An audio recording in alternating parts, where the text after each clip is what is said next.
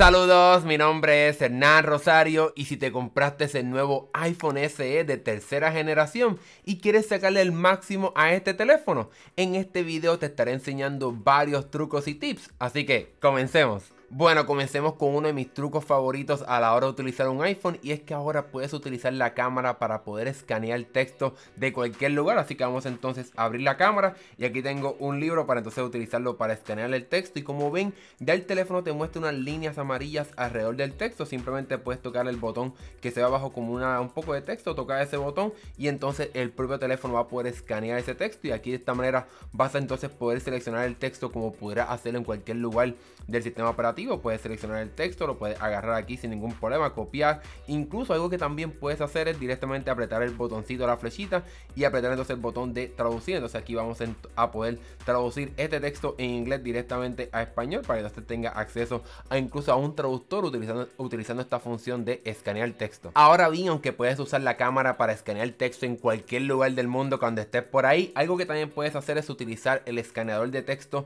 directamente en fotos que ya tengas en tu teléfono así que tengo esta foto de un libro. Y como pueden ver ya en la parte inferior derecha vemos el botón así como de un texto. Podemos tocar aquí y directamente vamos entonces a poder comenzar a, a, seleccionar el texto como vimos anteriormente. Y puedes hacer igual de lo que vimos anteriormente. Puedes seleccionar el texto como si lo estuvieses seleccionando en cualquier lugar y lo puedes copiar traducir pegar moverte donde tú quieras. Ese texto que esté en una foto ya tomada en tu teléfono. Pasemos entonces a algunos trucos sobre el navegador Safari para que entonces puedas sacar el máximo a la hora de explorar en internet. Y como pueden ver ahora en Safari tienes la posición de la barra de búsqueda en la parte inferior de la pantalla. Pero si eres de las personas que no le gusta que esté en esa área puedes tocar simplemente aquí donde están las dos A puedes tocar aquí. Y entonces vamos aquí a directamente a poder cambiar donde está esta barra de dirección. En la parte superior podemos tocar ese botón y entonces ahora podemos colocar esa barra de búsqueda en la parte superior. Si eres de las personas que prefiere tener entonces una barra de búsqueda arriba y entonces los botones abajo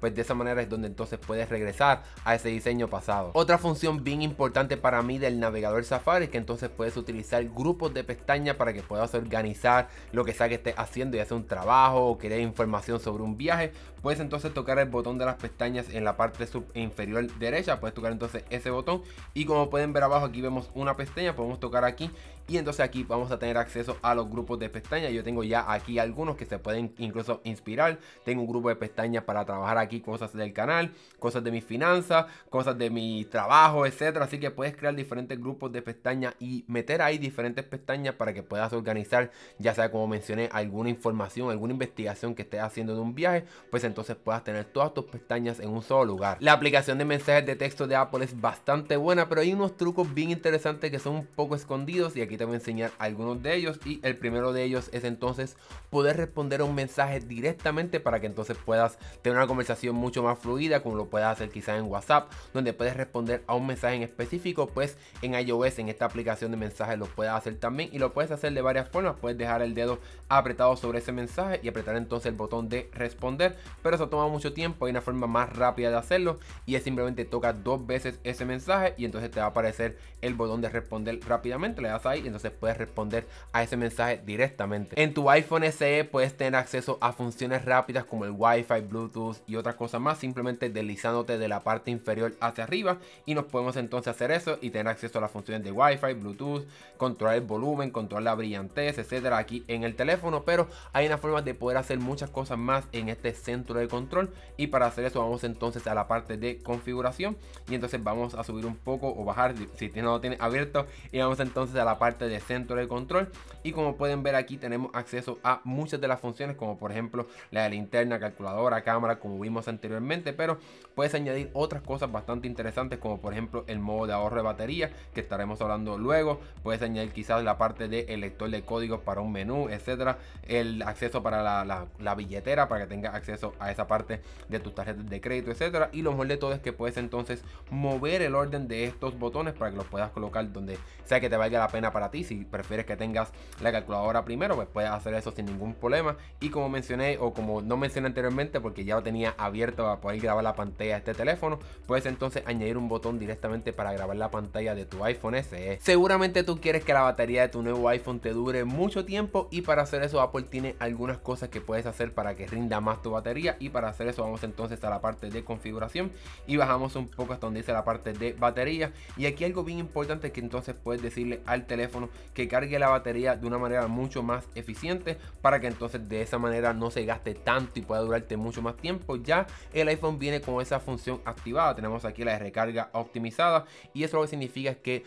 eh, va a cargar el teléfono hasta 80% y el último 20% lo va a hacer cuando realmente lo necesites, ya sabes cuando te vas a levantar, etcétera, para que entonces la batería se pueda mantener a ese 80% y no se degrade tanto tiempo y que solamente tenga acceso a ese 20%, a ese 100% una vez entonces cuando ya lo necesitas y que el teléfono no se quede al 100% por horas y horas cargándose a ese nivel. Y otra cosa que puedes hacer en tu diario vivir para que entonces la batería te dure mucho más tiempo es entonces ir aquí a la parte de ahorrar batería y entonces aquí el teléfono entrará en este modo de ahorro de batería. La batería como pueden ver se pone un color como naranja amarillento, pero como vimos anteriormente eh, puedes entonces ir al centro de control y deslizarte hacia arriba y si añadiste el botón de ahorro de batería puedes ir directamente aquí y apretar entonces el botón de ahorro de batería y entonces ahí vas a poder entonces comenzar a ahorrar batería. Quizás cuando te queda un poco de batería durante el día pues entonces puedes apretar ese botón para que te rinda mucho más. Si estás escuchando música o un podcast en tu teléfono puedes hacer algunas cosas para poder controlar la reproducción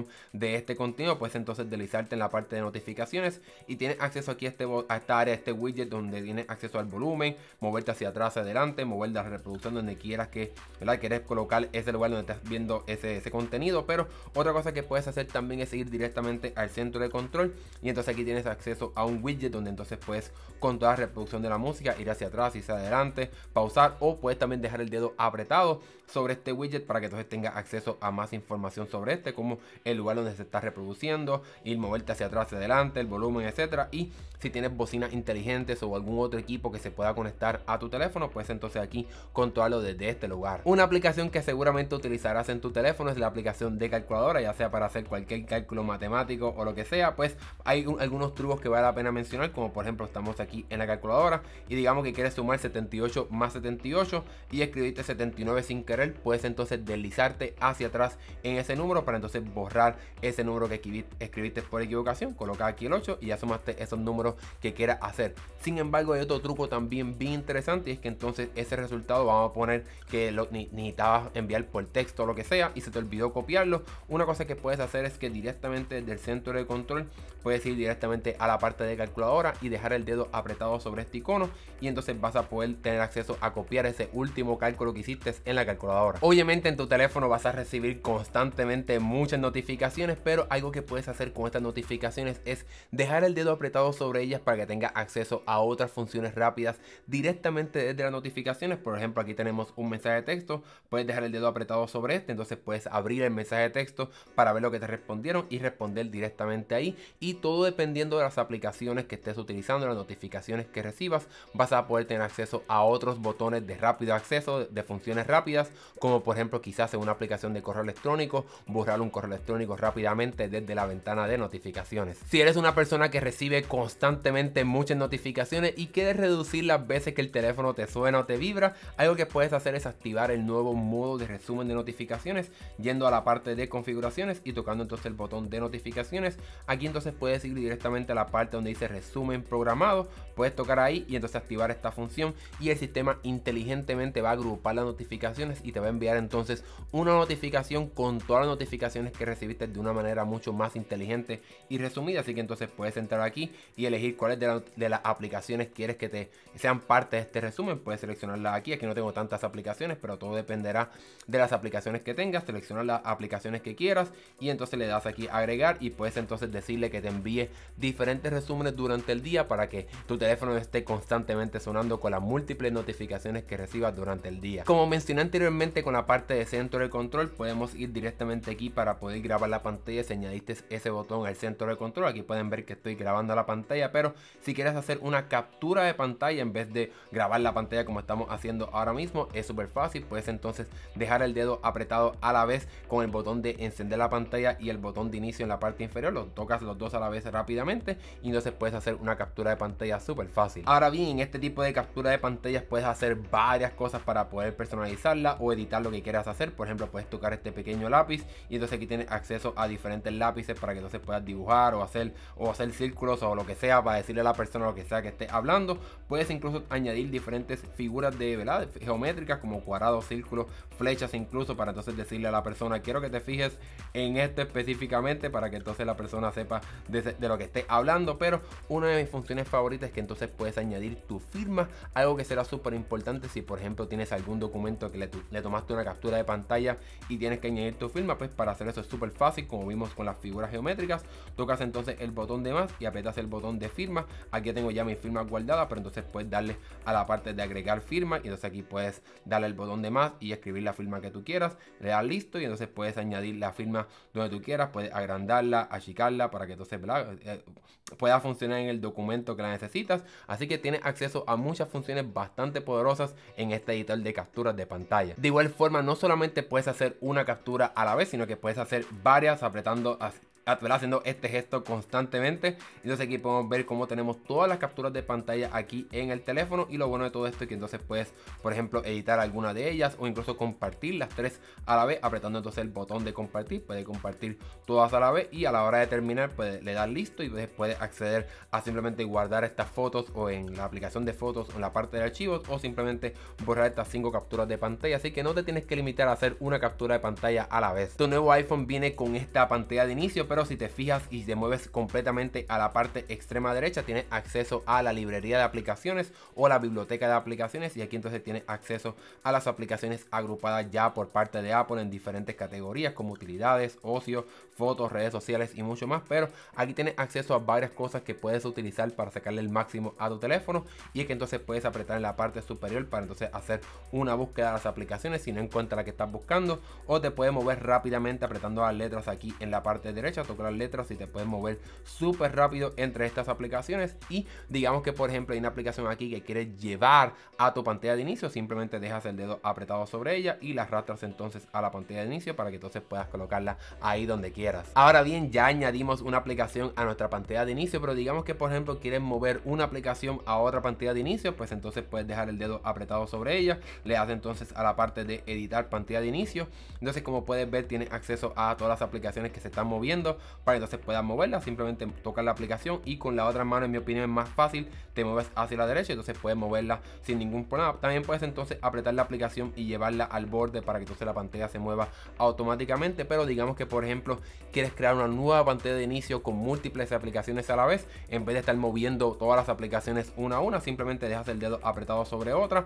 y con la otra mano seleccionas otras aplicaciones y como pueden ver se van agrupando aquí. Tenemos aquí cinco aplicaciones. Me deslizo entonces a la parte derecha y puedo soltar estas aplicaciones y entonces se mueven completamente todas a la misma vez. No obstante, también puedes personalizar tu pantalla de inicio dejando tu dedo apretado en cualquier parte de la pantalla de inicio, no tiene que ser sobre las aplicaciones y entonces podemos ver como en la parte superior derecha hay un botón de más donde entonces podemos personalizar aún más esta pantalla de inicio añadiendo widgets que es algo bien importante para mí. Vamos entonces aquí a tener acceso a los diferentes widgets. A mí me gusta mucho el widget de clima. Podemos dejar el dedo apretado sobre este, entonces lo dejamos ahí, lo dejamos caer en la pantalla de inicio y lo bueno de todo esto es que entonces podemos personalizar algunos de estos widgets tocándolo aquí en este modo de edición. Obviamente yo creo que la parte más importante es que tengas en la parte de clima el pronóstico de tu ubicación, pero si por ejemplo quieres utilizarlo de otra ciudad que por ejemplo quieres estar al tanto de ella, puedes entonces buscar tus diferentes ciudades que ya tienes añadidas a tu aplicación de clima o buscar alguna otra. Aquí puedo cambiar a las diferentes ciudades donde yo quiera, entonces aquí tengo siempre el clima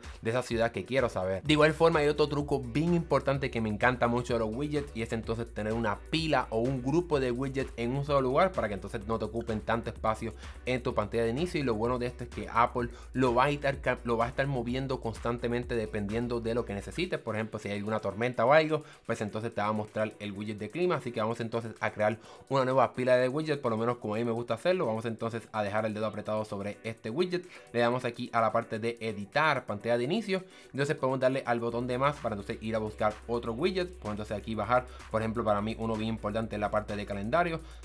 seleccionamos calendario, es muy importante que seleccionemos el mismo widget del mismo tamaño. Podemos entonces dejar el dedo apretado sobre este widget y lo dejamos caer sobre el widget de clima. Y como pueden ver, ahora tenemos una lista de widgets que nos podemos mover entre ellas, ¿verdad? Deslizamos aquí súper fácil rápidamente. Le damos entonces al botón de inicio para terminar esta personalización. Y como pueden ver, aquí tengo el widget de calendario y me puedo mover al de clima sin ningún problema. Otra cosa que puedes hacer también para personalizar tus pantallas de inicio es entonces esconder algunas pantallas de inicio para que entonces quizás cuando estés trabajando o estés en algún lugar o quieres entonces limpiar mucho más fácil tu teléfono sin borrar esas aplicaciones, puedes entonces dejar el dedo apretado sobre la pantalla de inicio. Entonces podemos tocar los iconos que están abajo, que son como unos círculos, tocamos ahí. Entonces aquí el teléfono nos, permitirá ver las diferentes pantallas de inicio. Entonces podemos apagarlas sin ningún problema o incluso también podemos aquí borrarlas o también podemos entonces moverlas para entonces organizar el teléfono mucho más fácil. Entonces aquí puedo encender otra vez estas pantallas de inicio. Entonces puedo mover las diferentes pantallas de inicio con mucha más facilidad. Una de mis funciones favoritas a la hora de utilizar un iPhone es la función de enfoque o enfocarte y vamos entonces aquí a tocar ese botón para entonces tener acceso a esa función y lo bueno es que el teléfono ya tiene algunos sistemas de enfoque creados para ti como por ejemplo uno de no molestar uno de manejar o conducir uno de trabajo etcétera. Así que puedes activar estos diferentes modos de enfoque y yendo directamente al centro de control y activándolo. Aquí yo tengo ya el de no molestar para que no me llegue ninguna notificaciones pero tengo acceso a otros más como por ejemplo uno de jugar uno de conducir a la hora de dormir para que no me llegue ninguna notificaciones y lo bueno de este es que puedes personalizarlo súper detalladamente como por ejemplo esta parte de sueño. Yo tengo aquí el modo activado para que ninguna persona ni ninguna aplicación me pueda molestar pero digamos que por ejemplo quieres que te llame alguna persona por ejemplo tu mamá o tu pareja etcétera puedes entonces ir directamente aquí a la parte de personas y añadir una persona por ejemplo busca el nombre de la persona y la añades aquí sin ningún problema pero también puedes entonces añadir aplicaciones quizás alguna aplicación que necesitas que te alerte por ejemplo alguna aplicación de seguridad de tu casa o algo así puedes entonces añadir esa aplicación aquí a este modo de enfoque. Así que puedes personalizar mucho más esto. Nosotros tenemos ya un video enfocado en un enfoque de videojuegos aquí en el canal así que te lo dejo aquí para que lo puedas ver y entender mucho más cómo es que funciona esta función de enfoque con mucho más ¿verdad? detalladamente. Y el último truco que te quiero mostrar sobre la pantalla de inicio es que entonces puedes dejar el dedo apretado también sobre algunos iconos para tener acceso a otras funciones rápidas como por ejemplo digamos que estoy aquí en el botón de mensajes de texto dejas el dedo apretado sobre este y puedes ir directamente a contestarle mensajes a una persona o crear un nuevo mensaje. Y todo esto dependerá de la aplicación que selecciones el dedo apretado. Por ejemplo en la parte de cámara puedes ir directamente a tomarte un selfie grabar un video súper rápidamente así que puedes jugar con los diferentes iconos dejando el dedo apretado sobre ellos para que entonces tenga acceso a funciones rápidas de esas aplicaciones. Bueno ya llegó la hora de hablar sobre algunos trucos de cámara así que vamos entonces directamente a ella. Aquí tenemos a nuestro modelo y algo bien importante que debes saber es que entonces si te fijas hay una flechita en la parte superior puedes tocar esa flecha para tener acceso a otras funciones como por ejemplo cambiar la proporción de la foto. Aquí tenemos 4.3 puedes poner 16.9 o cambiar entonces a cuadrada para por ejemplo en el pasado cuando era Instagram